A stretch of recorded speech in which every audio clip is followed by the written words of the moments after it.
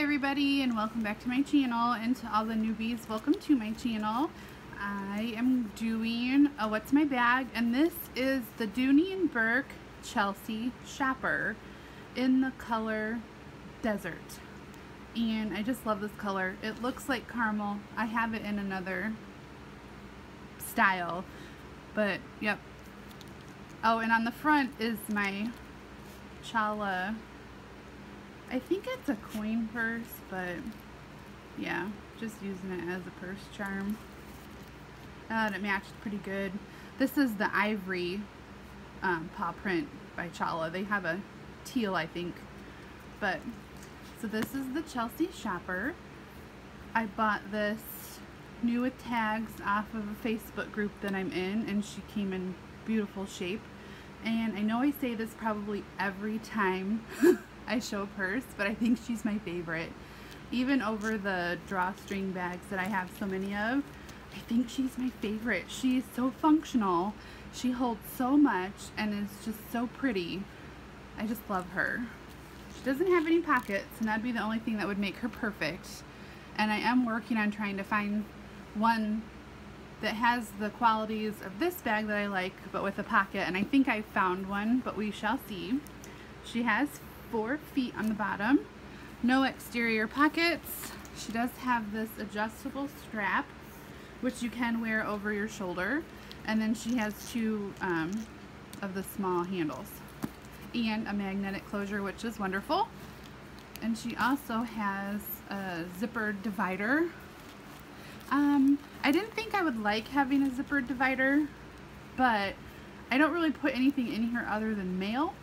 But I find that it keeps my stuff separate so I can keep my uh, traveler's notebook and my wall my wallet my coin purse over here.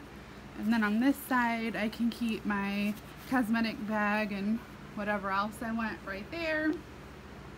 So let me show you what she has. This is has the Dooney patch right there and then it has the zippered compartment that we're used to along with the large slip compartment. It does have the center divider which goes all the way down so nothing like sneaks underneath it which I really like because that was one of my problems I had with one of my Michael Kors bags I believe is that it just slid all around. It has the key leash and then on this side it has our standard two slip pockets. So let's start on this side first. This pocket is where I keep my phone, iPhone 7 Plus in OtterBox case fits just fine. And then in here, I have my normal Vera Wang Princess Rollerball. And I keep my inhaler. It's very deep, so I can't even get the inhaler out. Oh my goodness. There we go, my inhaler. So the pockets are huge, which is great. And then I also, I have been actually keeping my keys on this. I wonder where they are. But I have my gum. And I like the protective plastic case. There's Miss Paisley making her appearance. And then I have, see this is caramel and desert. So they're so very close. So very close, just slightly different. But let's see my normal stuff I have in here. I carry in the emergency a little more. We've got some ill people in my office and ugh, that's just gross. Germ, germ farms. Um, I have one of my one wipe Charlies. I have a regular Alka-Seltzer and then I have the generic cold medicine, some shout wipes. Paisley, those are not for you. I have a like a, it can fit an Apple or it can fit an Android. My allergy eye spray, no, oh my gosh, my allergy eye drops, they're not sprays, could you imagine? Um, my dental tape, my allergy nose spray, my bag balm, my cuticle cream, a mirror, um, my Crest and Scope mouthwash or breath spray. This stuff, if you have a plugged up nose, and no I'm not suggesting you spray this up your nose, but if you have a plugged up nose, spray this into the back of your throat, but don't swallow it. And then just kind of breathe through your nose. Holy cow, that it works amazing. And yes, I've done that this week. Then I have my migraine stuff. The light's a little bright. There you go. And then my Advil with Benadryl in it. Burt's Bees. This is my J.R. Watkins in menthol. My Vicks nose inhaler.